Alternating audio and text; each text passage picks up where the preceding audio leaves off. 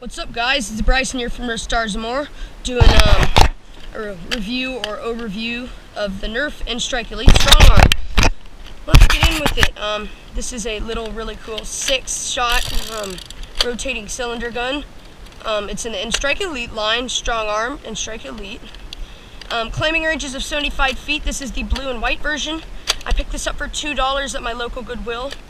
Well, 25 minutes away Goodwill, but um, these are retailing for about 11 to, um, well, $9 to $15 US. I don't know about Canada. I think about 17 up there. This comes in Sonic Fire, Elite XD, and um, the regular Elite, which I really like this version more than any of the others. Let's get right into it. Um, at the front, this is not an N-Strike attachment point, so you cannot add your barrels.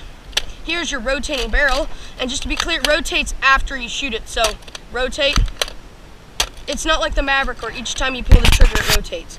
This is your um, barrel release, so you pull that and your barrel comes out and you can supposedly do a rapid fast reload and then just put it back in. Um, there's Strong Arm, the nice cosmetics, I really like it. Here's a tactical rail at the, up at the top and an um, iron sight that corresponds to this one.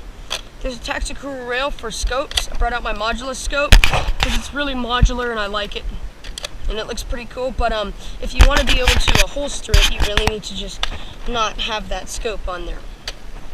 Um, I really like the looks of this. I like that. Um, this is actually, uh, well, I'll get down to the trigger. Nothing abnormal. Just feels like any other strong arm. But this does feel like it definitely defeats the Maverick, and it does.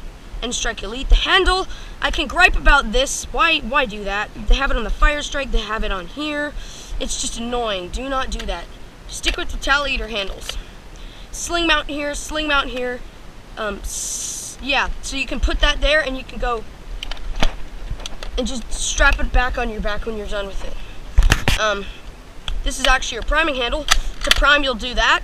And there's little ridges here where you're supposed to prime. There's your priming indicator. If it's orange, that means you're primed. And um, a lot of my friends have been doing this. They've been cocking my blasters and leaving them with that, and that priming bar means it's primed. That means there's a spring compressed to about that back in there. That is horribly bad for the blaster, leaving it primed like that, because um, it cannot, it, it compresses so much that it has no power left, and that's horrible for your blaster. Um, so let's see what the ranges are. That's an excellent 35 shot, foot shot. I'm sitting down about 45.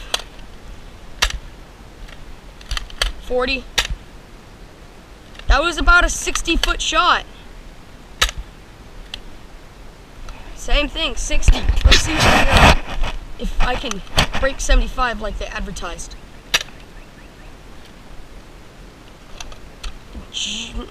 That's about 65. Let me reload and see if I can break it using angled shots.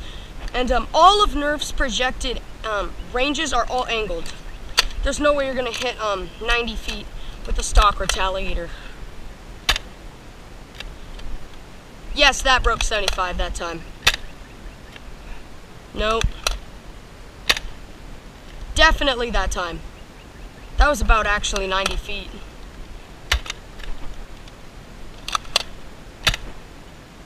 Same thing. So it's getting in the middle of about 90 and 75. And this is the same thing as the Elite XD. They just claim larger ranges. Yep, same. So um, I definitely prefer this. Um, I might take a hammer shot over this, but I really like it. I definitely um, would pick one up. And um, for indoor wars, this thing will, you will wreck.